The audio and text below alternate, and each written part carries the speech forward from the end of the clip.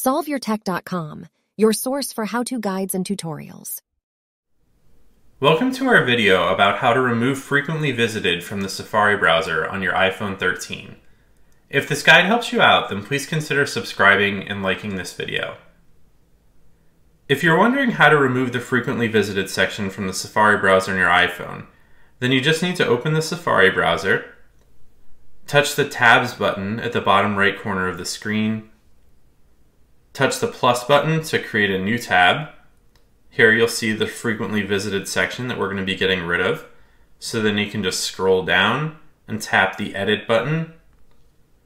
Then you can touch the button to the right of frequently visited to turn it off. Now if you exit out of this customized start page menu, you'll see that the frequently visited section is gone. Now that you know how to remove frequently visited from Safari on your iPhone, you'll be able to toggle this section as well as any other section on the start page off and on as needed. Make sure to like this video and subscribe to our channel to see more tech guides like this one. For additional information on this topic and to read the entire article, click the link in the description to visit solveyourtech.com.